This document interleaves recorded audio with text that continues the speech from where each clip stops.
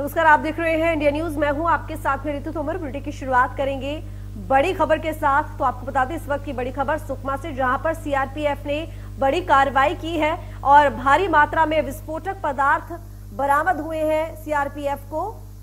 21 मार्च को नक्सलियों ने हमला किया था और इस बड़ी कार्रवाई में विस्फोटक पदार्थ बरामद हुए। हमले में कई नक्सलियों के घायल होने की संभावना भी। तो एसटीएफ सीआरपीएफ के जवानों ने ये जवाबी कार्रवाई की थी।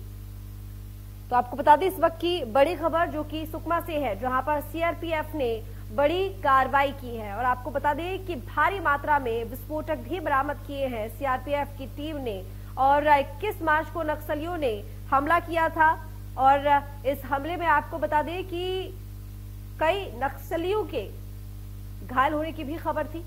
हालाँकि भारी मात्रा में विस्फोटक पदार्थ भी बरामद किए हैं। सीआरपीएफ की टीम ने ये बड़ी कार्रवाई 21 मार्च को नक्सलियों ने हमला किया था और जवाबी कार्रवाई भी फिर सीआरपीएफ की टीम ने की थी। हमले में कई नक्सलियों के घायल होने की संभावना भी जताई जा रही है। तो एसटीएफ और सीआरपीएफ के जवानों ने जवाबी कार्रवाई की थी और तब बड़ी मात्रा में ये विस्फोटक पदार्थ बरामद भी हुए सीआरपीएफ की टीम को। तो सुकमा से बड़ी खबर, बड़ी जानकारी हम आपको दे रहे हैं।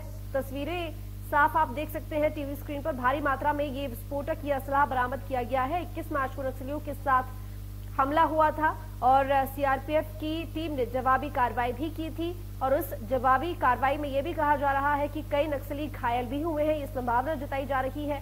हालाँकि आपको बता दें कि साथ ही कई विस्फोटक पदार्थ और सामग्री भी बरामद की गई है। सीआरपीएफ की टीम ने एक बड़ी सफलता हासिल की और ये बड़ी कार्रवाई, जिसमें कई विस्फोटक पदार्थ भी बरामद हुए हैं। तो हमले में कई नक्सलियों के घायल होने की भी खबर है।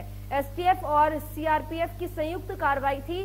जवाबों, आपको बता दें कि जब नक्सलियों ने हमला किया था तो जवाब में इन जवानों ने कार्रवाई की थी और इसके साथ ही ये भी बताया जा रहा था कि इस हमले में कई ऐसे नक्सली हैं जो कि घायल भी हुए हैं।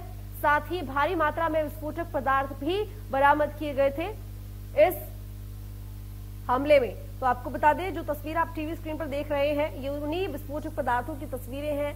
उन्हीं विस्फोटक सामग्री की तस्वीरें हैं जो कि सीआरपीएफ की टीम ने बरामद की है। 21 मार्च को जो नक्सली थे, उन्होंने हमला किया था और साथ ही जवाबी कार्रवाई की थी एसटीएफ और सीआरपीएफ की टीम ने। और इस जवाबी कार्रवाई में कई ऐसे नक्सली थे जो कि घायल भी